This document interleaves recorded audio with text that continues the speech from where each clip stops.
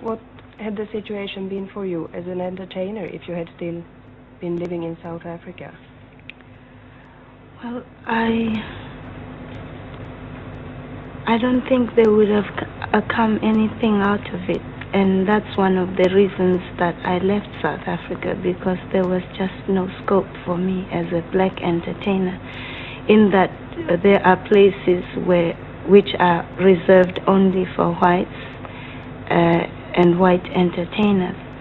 For instance, for many years we were not allowed to drink, and therefore we were not allowed to perform in um, nightclubs where liquor was being served. And those nightclubs were only open to white South Africans and not to the black people. And for a, a time there, we could perform in the theaters, but in 1958, the government passed a new uh, law that no Africans could perform in, in the cities, in any of the city halls, and so forth. And that's why I left in 1959.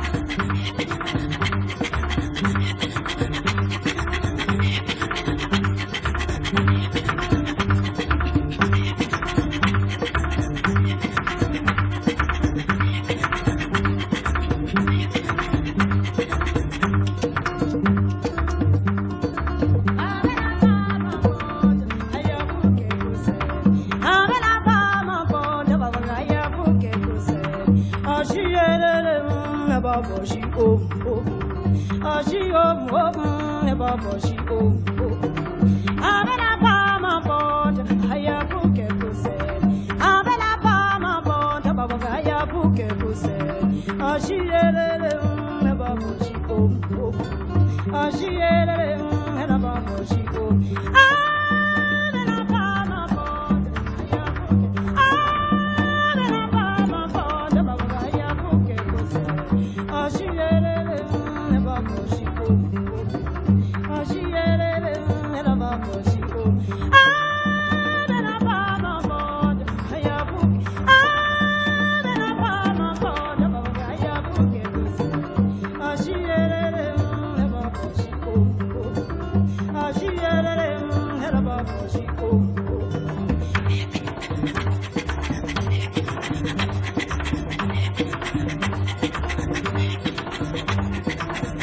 Are people happy in Johannesburg? That depends on which people you're talking about. When we speak of people in Johannesburg, we have to be specific in that in South Africa there are two separate communities, and that's the white community and the black community. Uh, I will speak for my community. I think we are happy, we dance, we sing, uh, because for, to us, uh, sometimes it's better to love to keep from crying.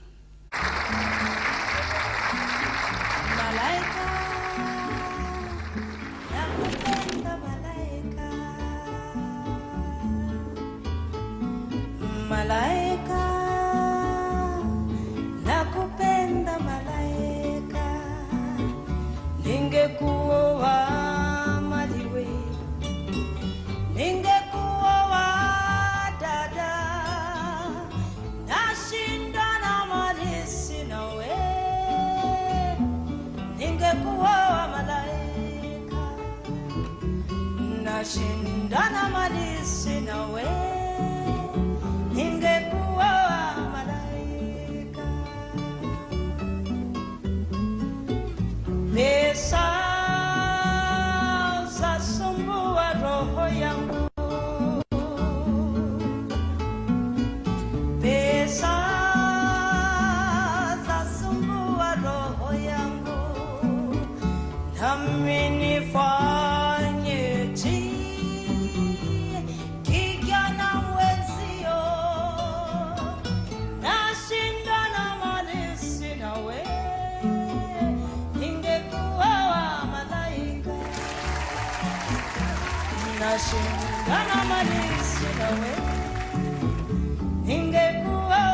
Malaika.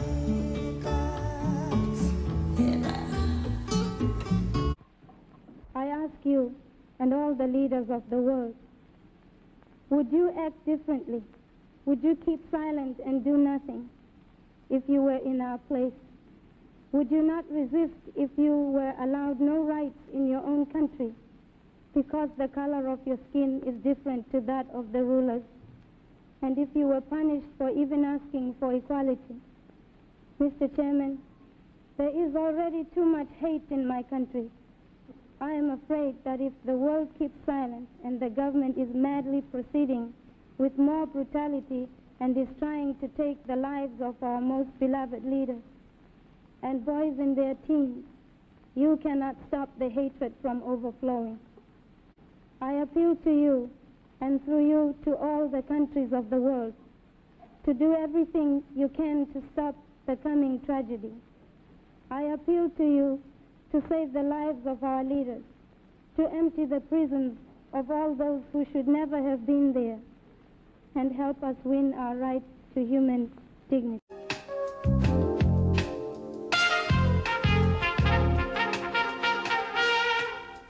Soweto Blues was written for me by Hugh Masekela after the um, June 16th uh, uprising. The children got a letter from the master. It said no more Xhosa, Sotho, no more Zulu. Refusing